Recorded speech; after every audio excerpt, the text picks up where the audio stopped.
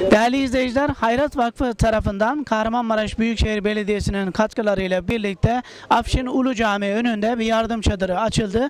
Ümmetin Yetimi İdlib yardım kampanyası şu anda başlatılmış durumda. Start verildi. Biz bugün Hayrat Vakfı Afşin temsilcisi Ahmet Doğru ile birlikte bu yardım kampanyasını konuşacağız. Ahmet Bey merhaba. Merhaba Halil Bey, teşekkürler.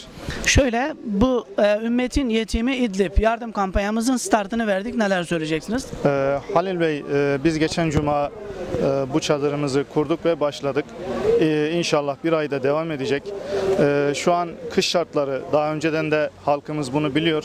Biz e, kış şartlarında oralardaki durumların biraz sıkıntılı olması hasebiyle bu aylarda açıyoruz. Ee, hiç olmazsa biraz e, katkımız olsun. Oradakilerin bir nebze yaralarını saralım istiyoruz.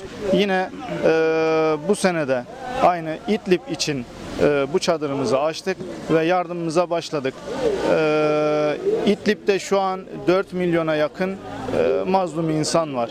E, ve biz bir e, kampanyayı başlattık. Ümmetin yetimi İdlib olarak bu kampanyayı başlattık. 800 bin yetime inşallah yardım götürmeyi düşünüyoruz. Geçmişteki yaptığımız yine yardımların bir benzeri olacak.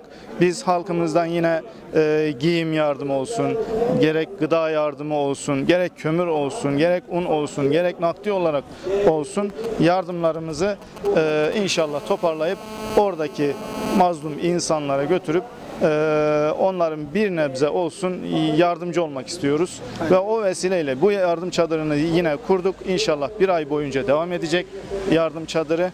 Ee, biz halkımızdan bize göstermiş oldukları geçmişteki teveccühten dolayı teşekkür ediyoruz.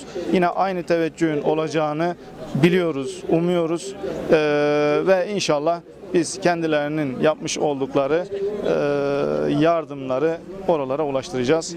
Çok teşekkür ediyorum. Ben teşekkür ediyorum hocam. Aslında Hayrat Vakfı'nın bu tür yardımlarına hiçbirimiz yabancı değiliz. Daha önce de buradan dualarla tırlar uğurlamıştık. Doğru mudur? Biz geçmiş dönemde toplamda 16 tır buradan Avşin'den yardım gitti. Ee, bunun haricinde biz sadece e, İdlib veyahut da Suriye'nin geneli için yardım toplamıyoruz. Biz genel itibariyle dünyanın birçok yerinde e, gariban Müslüman ülkelere e, yardımlarımızı götürüyoruz. Bunların e, çeşitliliği var. Oralarda e, su kuyuları açıyoruz. ihtiyaç var. Özellikle her sene biz e, kurbanlarda kurbanlarımızı toparlayıp götürüyoruz. E, bu sene 50'ye yakın ülkede kurban kestik. E, ve şu an e, ciddi manada binin üzerinde biz şu anda su kuyuları açtık. Çeşitli ülkelerde e, oralarda ciddi manada sıkıntılar var. Özellikle su konusunda sıkıntılar var. E, biz hakikaten e, halkımızın e, bize güvenini boşa çıkarmamaya çalışıyoruz. Gerçekten bize güveniyorlar, getiriyorlar, veriyorlar ve biz de onların adına oralarda hayırlarını yerine ulaştırmaya çalışıyoruz. Hocam şöyle bu yardım çadırında siz neler kabul ediyorsunuz? Yani vatandaşımız ne getirsin yardım olarak? Ee, vatandaşımız zaten e, bir kısmı biliyor. Ee, evlerindeki işe yarayacak elbiselerini getiriyorlar. Bunun haricinde su kuyusu açtırmak isteyen veyahut da e, biz kömür göndermek istiyoruz diyen veyahut da biz gıda göndermek istiyoruz veyahut da un göndermek istiyor, istiyoruz veyahut da battaniye göndermek istiyoruz e, derler. Biz onların adına kendi istekleri neyse biz onu gönderiyoruz. Yani e, alıp da farklı yere kullan. Ben e, diyor yani kalbim rahat etsin ben şunu istiyorum diyor. Biz de onu o şekilde yazıp kendi adına o, o Aynen. Yani şunu söyleyebiliriz. e, giyim yardımı, gıda yardımı, un yardımı ve bunun yanı sıra da nakdi yardımları kabul ediyoruz. kömür yardımı olabilir. Ee, farklı şeyler e, bizim şu an aklımıza gelmeyen.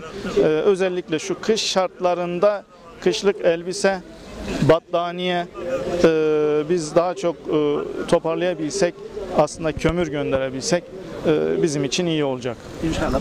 Değerli izleyiciler şu ana kadar 16 tır yardım gönderen Afşinlerden Ümmetin Yetimi İdlib yardım kampanyası için- için Kahramanmaraş Büyükşehir Belediyesi ve Hayrat Vakfı işbirliğinde burada çadırımız açıldı ve yardımlarınızı bekliyoruz.